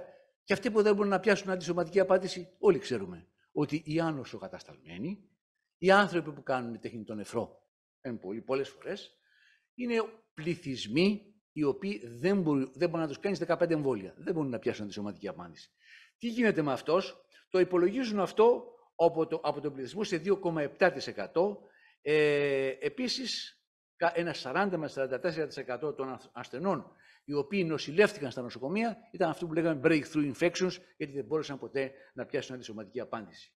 Ήρθε λοιπόν μια απάντηση, τα μονοκλονικά αντισώματα, ένας συνδυασμός μονοκλονικών αντισωμάτων, το AZD 7442, το οποίο έχει δύο κομμάτια, το Tixagevimab και το Silgavimab, είναι δύσκολο να τα προφέρουμε, τα οποία τι κάνουν. Φτιάχνουν ε, αντισωματική, ε, φτιάχνουν ακριβώς τα μονοκλονικά αντισώματα, παράγουν, αν θέλετε, προστασία με δύο ενδομικές ενέσεις για έξι μήνες. Σε ποιους; Ο εμβολιασμός παραμένει σταθερός. Σε αυτούς που ξέρουμε ότι δεν θα πιάσουν αντισωματική απάντηση. Είναι και στη χώρα μας αυτή τη στιγμή διαθέσιμα, αλλά βέβαια λόγω του, του, του λίγων δυνατοτήτων που έχουμε, ε, υπάρχουν κριτήρια ποιοι θα το πάρουν αυτό. Πρέπει να είναι αποδεδειγμένα άνθρωποι οι οποίοι δεν θα πιάσουν αντισωματική απάντηση με τον εμβολιασμό. Δημοσίευση στο New England Journal of Medicine, όπου βλέπετε τη διαφορά το μπλε με το κόκκινο αυτόν έναντι του πλασίμπο, τι προστασία προσφέρει και στη διάρκεια του χρόνου, είναι πραγματικά στατιστικώς λίγα σημαντική διαφορά. Αυτό ακριβώς καταδείχθηκε με τη μελέτη Provent, τη φάση 3, διπλά τυφλή placebo-controlled μελέτη, η οποία ήταν για, προ, για προφύλαξη α, πρωτού έρθουν σε έκθεση οι άνθρωποι και δείχνει αυτό, αυτή την ιστορία που ήταν για τη Δέλτα. Αυτό που έχει ιδιαίτερα ενδιαφέρον είναι ότι εκεί για την όμικρον με το, αυτό, με αυτή το, το μονοκλικά της σώματα υπάρχει προφύλαξη για την όμικρον 4 και 5. Θα σας αφήσω στο τέλος ένα λίγο δυσάρεστο γεγονός, το οποίο θα το δούμε στην πορεία. Έλεγα λοιπόν ότι οι ιατρικές καταστάσεις, οι θεραπείες που προκαλούν σοβαρή ανασοκαταστολή είναι αυτοί που δείχνει τους ανθρώπους που θα είναι επιλέξιμοι να κάνουν αυτά τα ενδομικά μονοκλονικά αντισώματα, όπως καταγράφεται στο site μας της Ελληνικής Εταιρείας Λιμόξεων και της Ελληνικής Πνευμονικής Εταιρείας. Και είναι αυτά που βλέπετε. Ενεργή θεραπεία μας για εμπαγισόγου ή αιματολογικές κακοήθειες, ε, μεταμοσχευμένη, CART, πρωτοπαθής άνοσον επάρκεια των παιδιών Wiskott Aldrich και D. George, HIV λίμωξη κάτω από 200, ενεργός θεραπεία με κορτικοστεροειδή με τα δεδομένα αυτά που ξέρουμε, αρκυλίουδε παράγοντες, αντιμεταβολίτε, anti-TNF, παράγοντες που παραγούν αφανισμό των β' λεμφοκυτάρων, το rituximab, το οποίο το ξέρουμε όλοι, και άλλα ισχυρά άνοσο-καταστατικά φάρμακα. Είναι γραμμένο πάντως και στο αλγόριθμο και τον ελληνικό, όπως φυσικά και τον ξένο, ότι μπορούν να χρησιμοποιηθούν προφυλακτική αγωγή πριν την έκθεση pre-exposure προφύλαξης. Το άσχημο είναι αυτό. Χθες το FDA έβγαλε μία ανακοίνωση. Το Evucert είναι το εμπορικό όνομα των, των, αυτών των μονοκονικών. Λοιπόν, το FDA λέει ότι υπάρχει μια subvariant του βα4, η βα4.6, η 6, η οποία δυστυχώς είναι προς το παρόν πολύ αρχικά δεδομένα, τα οποία υπάρχουν, ξεκίνησε και στο Ηνωμένο Βασίλειο, αυτό με απασχολεί εμένα. Το Ηνωμένο Βασίλειο είναι ποαστήριο προφανώς, κυρία Πάγκαλη, ε, ξεκίνησε να έχουν περιστατικά εκεί. Αν επικρατήσει αυτή, ελπίζω να μην επικρατήσει, Διότι ξέρετε, η, β, η 4 και η 5, η όμικρον 4 και η όμικρον 5, ίσως, μέχρι τώρα δεδομένα που έχουμε, να μην έχει επιτρέψει χώρο ώστε να υπάρξει άλλη εξέλιξη, άλλης variant of concern. Ε, έδειξε λοιπόν όμως ότι στο βα4 δεν δρούν τα μονοκλονικά αντισώματα. Αυτό είναι άσχημο. Χθες βγήκε, σας λέω αυτό, και το δημοσίευσε το FDA. Παρ' όλα αυτά, θέλω να διαβάσετε την τελευταία πρόταση. Το FDA λέει ότι το, η θεραπεία αυτή με τα μονοκλονικά, τα ενδομικά, παραμένει η μοναδική επιλογή για πριν από έκθεση προφύλαξη για τους ανθρώπους που δεν μπορεί να πιάσουν αντισωματική απάντηση και που βεβαίως το πλήστον είναι ο μικρό 4 και ο μικρό 5, την οποία βεβαίως την πιάνει τα μονοκλονικά αυτά αντισώματα.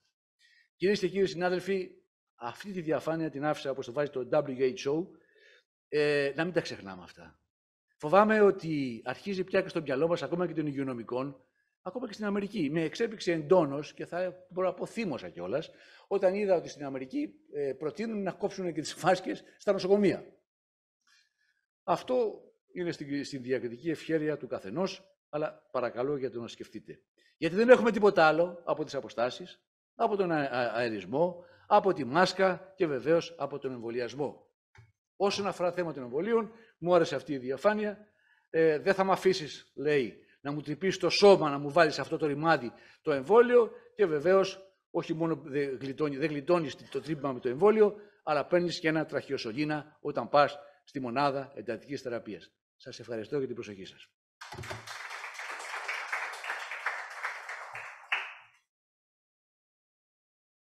Ήθελα και εγώ να ε, ευχαριστήσω τον καθηγητή τον κύριο Λιάπη και την ε, κυρία Ριγρακοπούλου και την Επιστημονική Επιτροπή για την διοργάνωση αυτών των επιμορφωτικών ε, μαθημάτων. Εγώ θα μιλήσω λίγο για τα καινούρια εμβόλια. Εδώ αυτή η διαφάνεια μας δείχνει στο 2021 την καλή αποτελεσματικότητα των εμβολίων μέχρι τώρα ε, βλέπουμε ότι όσο αυξάνεται ο εμβολιασμός, μειώνονται και τα περιστατικά ε, του COVID. Οι, οι, οι γραμμές είναι τη, για το εμβόλιο της Pfizer, της Moderna και όπως βλέπουμε της Johnson Johnson είχε ε, λίγο μικρότερη αποτελεσματικότητα από τα άλλα εμβόλια. Σε αυτή τη διαφάνεια βλέπουμε ότι κατά το πλήστον τα άτομα που είχαν σοβαρή νόσο ε, και, και ε, προκαλέστηκε θάνατος ήταν ε, το μεγαλύτερο ποσοστό των ανθρώπων μη εμβολιασμένων. Είναι η κόκκινη, το κόκκινο χρώμα στις κάτω δύο ε, καμπύλες. εδώ φαίνεται η δράση των εμβολίων στην Δέλτα και στην Όμικρον. Βλέπουμε ότι με την τρίτη δόση έχουμε σίγουρα ε, αναμνηστική δόση έχουμε σίγουρα μια καλύτερη απάντηση ε, στην αποτελεσματικότητα των ε, εμβολίων, αλλά ε, στην όμικρον έχει μικρότερη ε, δράση, δηλαδή ε, της AstraZeneca είχε 62% έναντι του 95% έναντι στην Δέλτα και, στην, και της Pfizer είχε 67% έναντι της, του 95,1%. Βλέπουμε λοιπόν ότι εξασθενεί ο εμβολιασμός. Όσο περνάνε οι μήνες, αρχίζει και μειώνεται η δράση των εμβολίων. Ε, αν δείτε εκεί στην, ε, στον τρίτο μήνα περίπου αρχίζει και μειώνεται, ε, εξασθενεί αυτή η δράση. Ε, αυτός ο πίνακας είναι από το CDC, από, ένα, ε, από μια μελέτη, όπου έδειξε ότι είχαμε μια καλή απάντηση μετά από δύο δόσεις ε, όταν, ε, μέχρι από 14 έως 150 ημέρες, ενώ όταν πάει πάνω από 150 ημέρες, μειώνεται αυτή η αποτελεσματικότητα. Το ίδιο με τις τρεις δόσεις είμαστε λίγο καλύτερα, αλλά και πάλι μετά από τις 120 ημέρες έχουμε μειωμένη δράση των εμβολίων. Και στους μη ανασοκατασταλμένους το ίδιο, από το Δεκέμβριο του 2021 μέχρι τον Ιούλιο του 2022, βλέπουμε ότι ε, παρότι παίρνουν οι ανασκοτισταλμένοι τρεις δόσεις, ε, μειώνεται η αποτελεσματικότητα μετά από τις 120 ημέρες. Το ίδιο και εδώ, ανάλογα με, τις, ε, ε, με την εποχή, όταν είχαμε την, ε, τώρα τελευταία που έχουμε την, ε, την, το όμικρον 4 και το όμικρον 5, βλέπουμε ότι η αποτελεσματικότητα όσες και δόσεις και να κάνουμε ε, μειώνεται. Φτάνει μέχρι και το 40% ε, αποτελεσματικότητας παρά τις τέσσερις δόσεις. Στους, ε, και στους ε, μη ανασοκατασταλμένους, αλλά και στους ανασοκατασταλμένους. Εδώ, σε αυτή την καπήλη, την πάνω καπήλη, βλέπουμε ότι το Γενάρη αρχίζουν και αυξάνονται, το Γενάρη του 2022 αρχίζουν και αυξάνονται ε, τα επεισόδια της οξείας ε, νόσου από COVID. Βέβαια, όμως, μειώνονται οι, οι εισαγωγές ε, στις μονάδες, μειώνονται και οι θάνατοι. Αυτή, επίσης, βλέπουμε ότι οι ασθενείς που μπαίνουν στην εντατική, μπαίνουν στο νοσοκομείο, έχουν αυξημένη ηλικία. Τα έδειξε πολύ καλά και πριν ο κύριος Γαργαλιάνος. Άρα τι κάνουμε, γιατί υπάρχει αυτή η αύξηση από τον Γενάρη του 2022. Ε, έχουμε αυξημένο, πλέον κυκλοφορεί το όμικρον 4 και το όμικρον 5 στην κοινότητα, κυρίως στην Ευρώπη και στην Αμερική. Οπότε ε, έχει βγει έχουν βγει τα επικαιροποιημένα διδύναμα εμβόλια έναντι του κορονοϊού. Και τι έχουν αυτά; Περιέχουν την πρωτεΐνη ακίδα S, το αρχικό εμβόλιο του Wuhan, έναντι του στελέχους του Wuhan, αλλά έχουμε και ε, τη ΒΑ4 και τη ΒΑ5, που είναι τα στελέχη του όμικρον 4 και του όμικρον 5 ουσιαστικά, Δύο εταιρείες έχουν βγάλει αυτά τα καινούργια ε, ε, δίδυμα, ε, διδύναμα εμβόλια, η Pfizer και η ε, Moderna αυτή τη στιγμή, από τη Δευτέρα, από τις 3 του μηνός, κυκλοφορεί της Pfizer στην Ελλάδα. Η Pfizer λοιπόν έκανε κάποιες μελέτες στα ποντίκια και φαίνεται ότι ο συνδυασμός ε, με τα στελέχη ε, του όμικρον 4 και του όμικρον 5 έχουμε γενικότερα σε όλα τα στελέχη μια κάλυψη στις όμικρον υποομάδες ε, του ιού. Και πριν λίγες μέρες, στις 16 Σεπτεμβρίου, υπήρχε και μια, ένα άρθρο ε, στο New England Journal of Medicine, όπου φάνηκε σε κλινικό, ε, σε κλινικό trial, σε κλινική μελέτη, να έχει μια καλή αποδοτικότητα το καινούριο διδύναμο εμβόλιο. Ποια είναι τα, ποια είναι τα άτομα λοιπόν που ε, πρέπει να κάνουν αυτό το εμβόλιο; Αυτή τη στιγμή στην Ελλάδα έχουν έρθει γύρω στις 500.000 δόσεις. Τα άτομα είναι ε, ηλικίας άνω των 60, όπως είδαμε πριν, έχουμε αύξηση στην ηλικία των ατόμων που μπαίνουν στα νοσοκομεία. Ε, στα άτομα ηλικίας 12 ε, έως 59 ετών, που είναι άτομα σε ομάδες αυξημένου κινδύνου, οι άνθρωποι που εργάζονται σε μονάδες φροντίδας ηλικιωμένων και άλλες μονάδες φροντίδας χρονίων ε, ε, πασχόντων. Και εδώ θέλω να σταθώ ότι και οι επαγγελματίες υγείας έχουμε λίγο αφαιθεί ε, και πρέπει να καταλάβουμε ότι η όμικρον 4, όμικρον 5 κυκλοφορεί και εμείς ασχολούμαστε με τους ασθενείς, ανασοκατασταλμένους και μη και πρέπει να εμβολιαστούμε. Ε, φυσικά, ε, άτομα ε, που διαβιούν με άλλο άτομο που έχει ανασοκαταστολή και οι φροντιστές ατόμων που πάσχουν από νοσήματα που αυξάνουν τον κίνδυνο επιπλοκών από τον κορονοϊό. ε, ποια είναι τα άτομα αυτά που είναι τα άτομα με παράγοντες κινδύνου, χρόνια νοσήματα του αναπνευστικού, καρδιαγκιακά νοσήματα, σαγαρόδι διαβήτη, νοσογόνος παχυσαρκία με BMI άνω των 40, καρκίνος, χρόνια νευρική ε, νόσο, ανοσοκαταστολή γενικότερη, αιμοσφαιρινοπάθειες, διαταραχές πληνός, ε, χρόνια νευρολογικά, νευρομυϊκά νοσήματα, σοβαρή ψυχική νόσος, σοβαρή αναπηρία, διαμένοντας σε δομές ομαδικής διαβίωσης, διαβιούντες με άτομα με ανοσοκαταστολή ή άλλο υποκείμενο νόσημο και φροντιστές, όπως είπαμε νωρίτερα. Έχει ο ΕΟΔΗ βγάλει και μια λίστα από ανοσοκατασταλτικά φάρμακα, μη βιολογικοί παράγοντες ε, και βιολογικούς παράγοντες που μπαίνουν μέσα σε αυτή τη λίστα. Ε, προέχει βέβαια η κορτιζόνη, ε, που είναι πρώτη-πρώτη στη λίστα. Άτομα που παίρνουν κορτιζόνη έχουν ένδειξη να κάνουν το εμβόλιο. Ε, ποιοι λοιπόν ε, κάνουν την δόση για να, για να πάρουμε την αναμνηστική αυτή δόση πρέπει να έχουμε ε, τελειώσει τουλάχιστον δύο δόσεις από το ε, αρχικό εμβόλιο. Και πρέπει να έχουν περάσει τρεις μήνες από την τελευταία μας δόση. Ή αν έχουμε νοσήσει από COVID, να έχουν περάσει τρεις μήνες από την νόσηση και να έχουμε ολοκληρώσει και την πρώτη σειρά ή δύο ή τρεις δόσεις ανάλογα του εμβολίου και μετά να πάρουμε την ε, αναμνηστική δόση.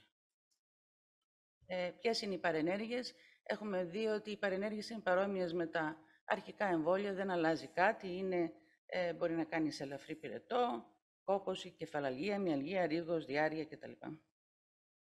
Κρατάνε λίγες μέρες και είναι συνήθως ελαφρά. Ε, εδώ σε μια μελέτη ε, των ε, καινούριων αυτών εμβολίων βλέπουμε ότι έχουν βγάλει σε ποσοστά και περισσότερο είναι ο πόνος ο τοπικός, η ερυθρότητα στην περιοχή του εμβολίου, λίγο πυρετό, πονοκέφαλο κτλ. Μυαλγίες. Συμπερασματικά, λοιπόν, τα επικαιροποιημένα εμβόλια, διδύναμα εμβόλια έχουν πρόσφατα εγκριθεί από τους αρμόδιους ρυθμιστικούς οργανισμούς και χορηγούνται αποκλειστικά ως αναμνηστική δόση. Πριν τη χορήγηση του εμβολίου απαιτείται η ολοκλήρωση του βασικού εμβολιασμού. Υπενθυμίζεται ότι ο βασικός εμβολιασμός περιλαμβάνει δύο δόσεις των μονοδύναμων mRNA εμβολίων ή του πρωτεϊνικού εμβολίου ή μία δόση του μονοδοσικού εμβολίου Johnson Johnson για το γενικό πληθυσμό και τρεις δόσεις των μονοδύναμων mRNA εμβολίων για τους ανασοκατασταλμένους, εφόσον βέβαια έχουν παρέλθει τρεις μήνες. Άτομα που νόσησαν μετά από την χορήγηση της δεύτερης αναμνηστικής δόσης περιμένουν και αυτοί τρεις μήνες για να κάνουν το αναμνηστικό εμβόλιο. Ε, συστήνεται σε ομάδες ε, με παράγοντες κινδύνου, αλλά κυρίως, και αυτό είναι το μήνυμα το σημερινό, κυρίως πρέπει όλοι οι επαγγελματίες υγείας να εμβολιαστούμε. Σας ευχαριστώ.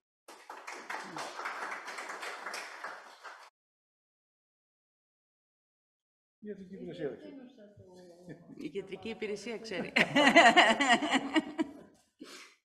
Πάντως αρκετοί, ειδικά ας πούμε στην τελευταία φάση, εγώ άκουγα κάθε μέρα τρεις-τέσσερις. Υπάρχει ένα μεγάλο ποσοστό γενικώς νόσηση στην κοινότητα και φυσικά επηρεάζει και τους γιατρούς.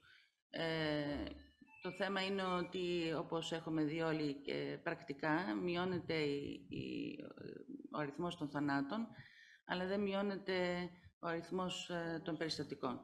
Και βάζουμε σε κίνδυνο ουσιαστικά τους ε, ανθρώπους που, είναι, που έχουν παραγόντες κινδύνου.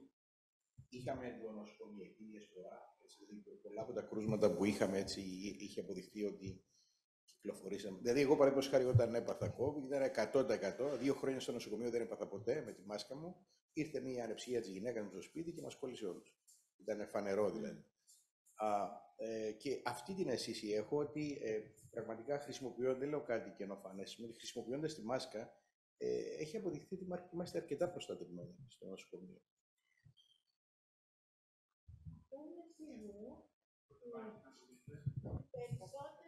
Περισσότεροι που παρακολουθήσαμε από το προσωπικό που είχαν νοσήσει, είχαν νοσήσει και η μολυνθεί απ' έξω. Ή από τα παιδιά τους, ή από οικογενειακές συγκοιναντήσεις, ε, κάτι τέτοιο. Αλλά μέσα στο νοσοκομείο δεν φάνηκε κάτι ε, δραματικό να συμβαίνει.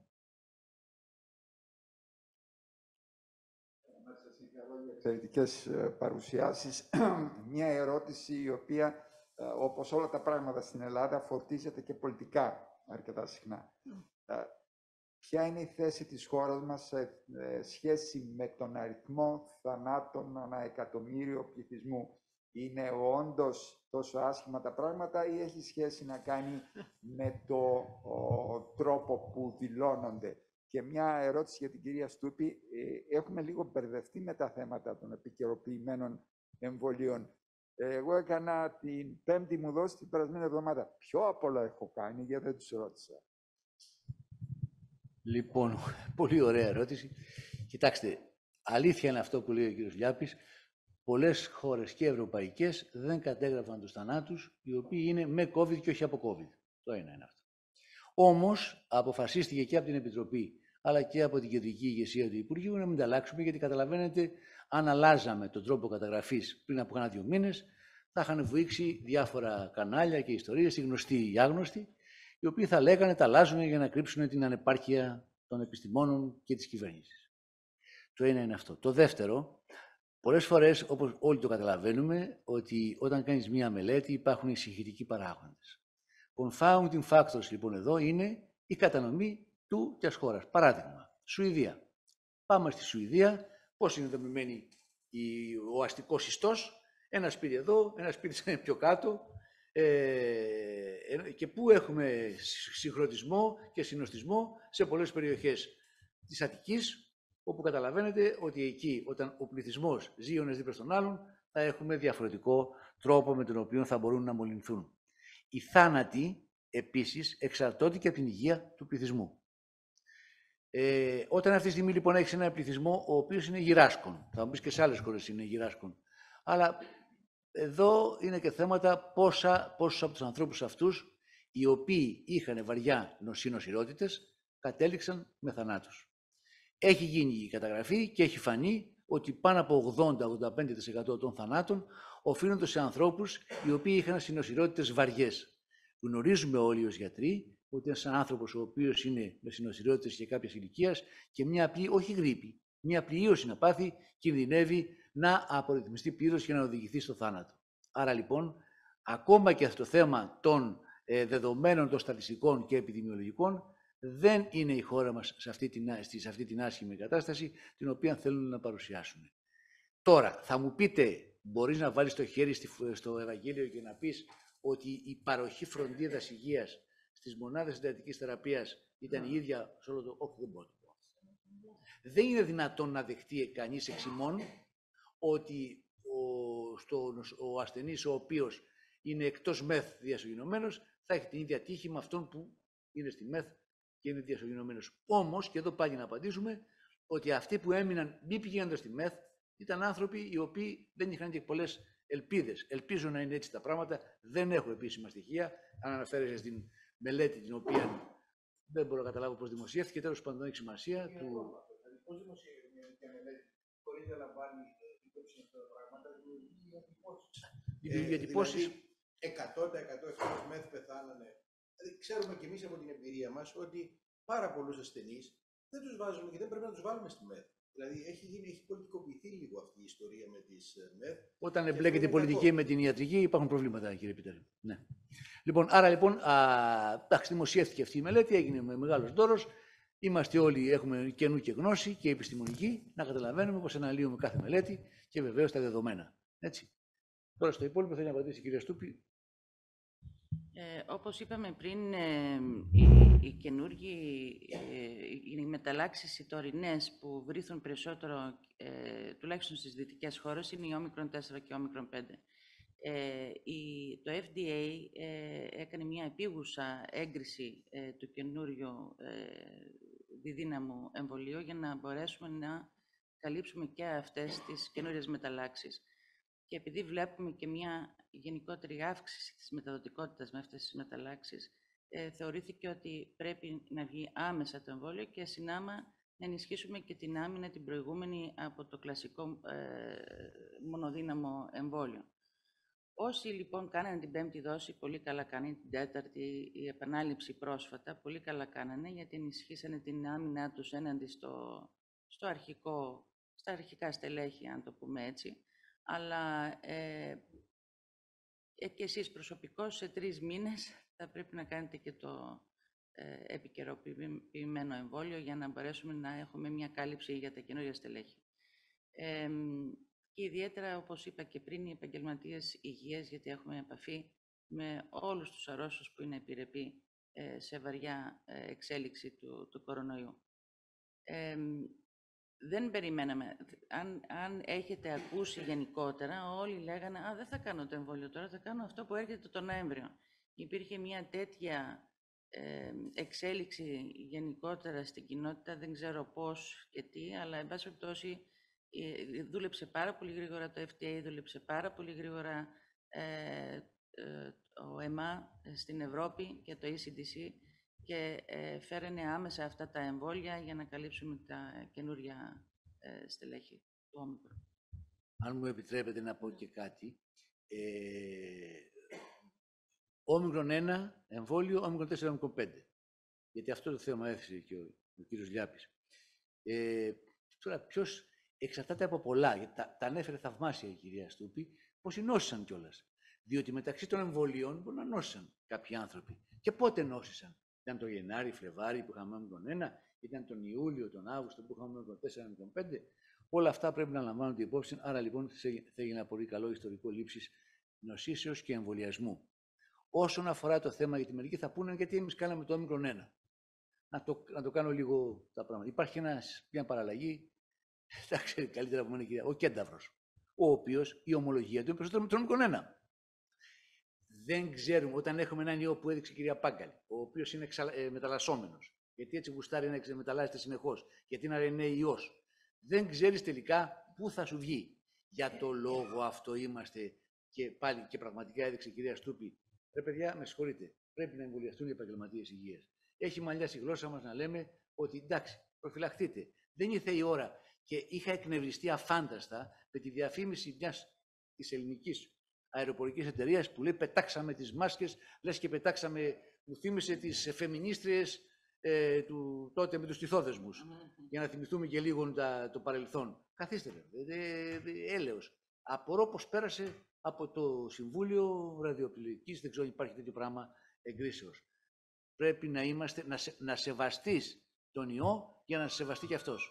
Τώρα για το υπόλοιπο που λένε θα βγει το καινούριο, με ρωτήσατε, είμαστε και οι τρεις και συζητούσαμε. Και λέγαμε, εμείς περιμένουμε, θα βγει το ετήσιο. Ποιο είναι το ετήσιο, ρε παιδιά; Αφού τρελαθήκαμε και οι τρει δεν είχαμε διαβάσει τίποτα, επικοινωνία έχει με όλους. Λέω, έχει ακούσει κανένας για. Όχι.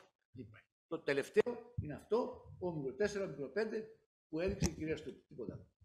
Δεν έχουμε κάποια, κάποια λόγια ή κάποια τρανταχτά ε, άρθρα ή μελέτες που να μιλάνε για ένα ετήσιο εμβόλιο. Ε, κανένας δεν ξέρει την επόμενη εξέλιξη αυτού του ιού.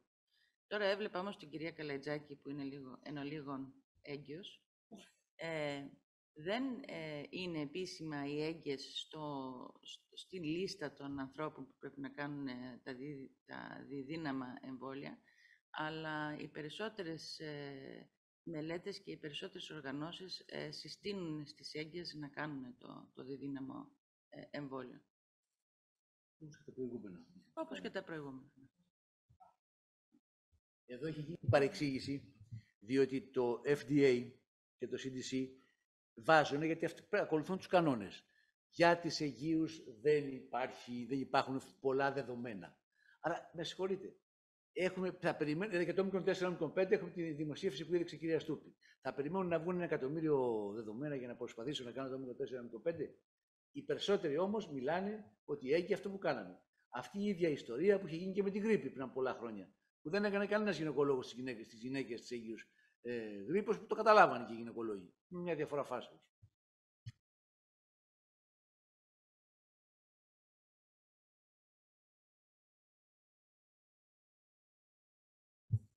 Και πιθανότατα πότε εμβολιαστήκατε; Μήπως εμβολιαστήκατε και με, το, με αυτό το διδύναμο, το 4-5.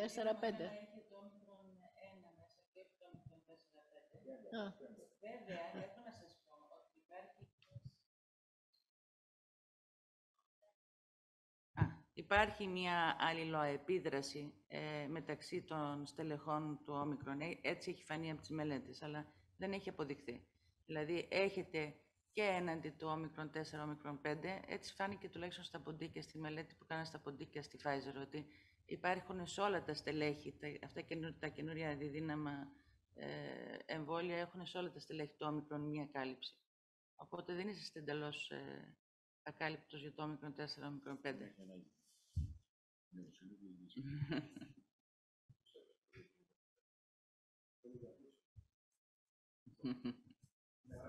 έχουμε αλληλοκάλυψη στο γονιδίο μας, υπήρχε, ένας, υπήρχε μια πολύ μεγάλη ε, αντίδραση όταν ήταν να κάνει την έγκριση το FDA, γιατί είχαν βγάλει μόνο τις μελέτες από τα ποντίκια και δεν θέλανε να δώσουν την, την κάνανε ε, μεγάλη έτσι, αντίδραση στο FDA, γιατί βγάζει τόσο γρήγορα ε, ε, την άδεια, την επίγουσα για να κυκλοφορήσει το εμβόλιο, αλλά και αναγκαστήκανε λοιπόν να κάνουν και τις κλινικές μελέτες που σας έδειξα και έτσι πήρε την έγκριση.